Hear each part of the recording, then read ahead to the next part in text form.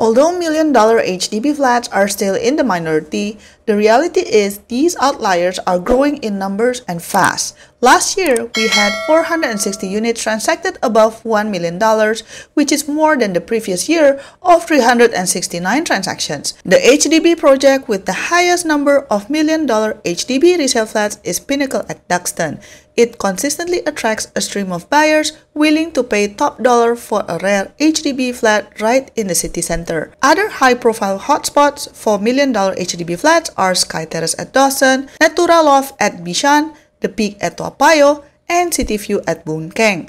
But other than that, we even started to see this $1 million HDB trend popping up in other areas such as Punggol and Yishun.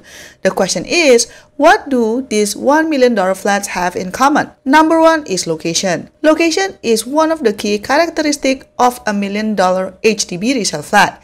And it's pretty obvious. A house in a good location creates a lot of convenience for the homeowner.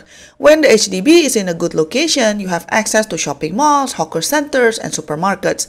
It makes everyday living easy and convenient. For others, it is about living close to a certain school that is perceived to be better than others. Another benefit that comes with having a good location is the time you can save your travel time, especially if you are working in the CBD area. For example, if you are staying in Pinnacle at Duxton at Tanjong Pagar, you are literally within the city center. You can go to work within 30 minutes. Compare that if you live in Punggol, for example, where it takes over an hour one way.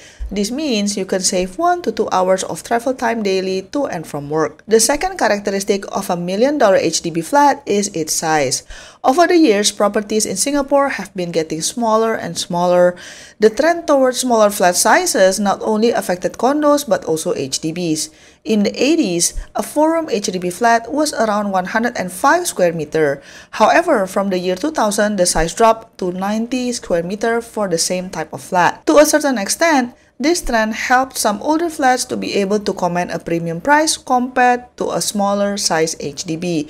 We can see this particularly for executive apartments or HDB maisonettes, which are generally priced much higher than the rest of the market. The third characteristic is unblocked view. In a crowded city-state like Singapore, it's very difficult to avoid the sight of high-rise buildings. This means that views from home often get blocked by the next building.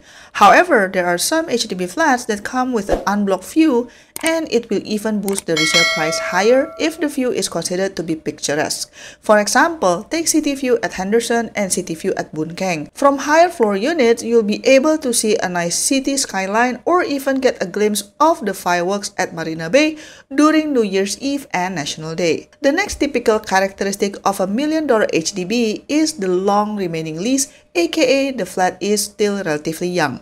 Because none of the public housing in Singapore is freehold, hence the ticking clock of a leasehold is real. In theory, you basically have to give back the land to the government once that lease ends. Beyond that, the remaining lease on the property also has implications for your housing loan. If the lease expires before you or your spouse, whoever is younger, reaches age 95, you will not be able to get the full HDB housing loan. If you want to borrow from the bank instead, the criteria are more strict. For example, if the loan extends beyond age 65 or exceeds 30 years of loan tenure, you will need to manage with a loan to valuation limit below the existing cap of 75%. The fifth characteristic of a million dollar HDB is looking like a condo.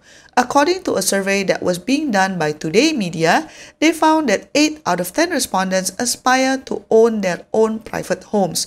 However, according to the Department of Statistics Singapore, around 77.9% of households live in an HDB. Hence, for most Singaporeans, being able to upgrade from HDB to a condo is a dream come true. However, condos are far more expensive per square foot.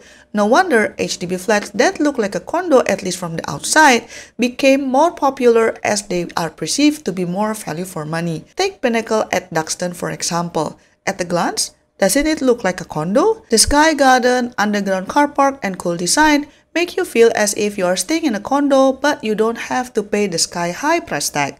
This is also the case with Natura Loft DBSS at Bishan. If you don't know any better, you might think it was a condo just based on the big balcony itself. No wonder these two developments are consistently producing $1 million resale flat. The next characteristic of a million dollar HDB is being surrounded by private properties. Why? Because the price comparison will benefit these HDB owners. The reality is there are Singaporeans who earn well above the median income and they can afford these expensive flats. To them, a million dollar HDB flat might seem to be a bargain if they compare it with private developments in the same area. Take Pinnacle at Duxton again for example. $1.4 million for a 4-room resale flat seems ridiculously expensive. However, the condo alternative for the same neighborhood at Wallich Residence Condo will cost around $3.2 million for roughly the same size, not to mention the savings that the buyer could have from the monthly maintenance fee. Last but not least, the next characteristic of a million dollar HDB is unique properties. Just like any other market, the property market is also governed by supply and demand.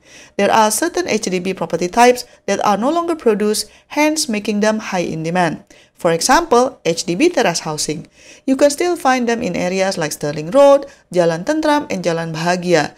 It's a unique opportunity to stay in a landed property for an HDB price. They tend to fetch a higher price because there are only 285 HDB terraces. Maisonette is also a similar story. HDB stopped producing them in 1995, so you can only find them in the resale market. Another type that is unique is the rare loft units. HDB rarely offers this, although it is highly sought after for its luxury feels. No wonder this HDB loft unit in Punggol was sold for $1.2 million. Would you ever buy a million dollar HDB flat?